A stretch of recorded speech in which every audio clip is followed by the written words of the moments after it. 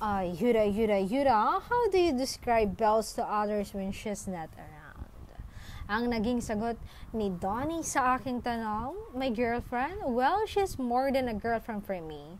She is my mammy partner. I tell her all my problems. I can cry my heart out to her anything I want.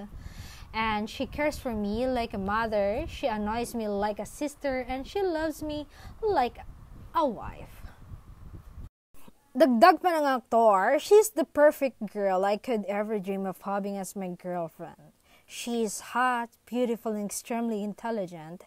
But the thing I like the most about her is her soul. She is one of the purest souls in the world. She's the cutest but can be mature as well. She doesn't throw tantrums like others girls do.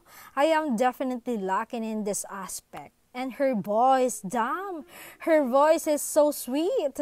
I can literally listen to her voice for four hours. But on top of that, she has a great sense of humor, and her comebacks are absolutely savage.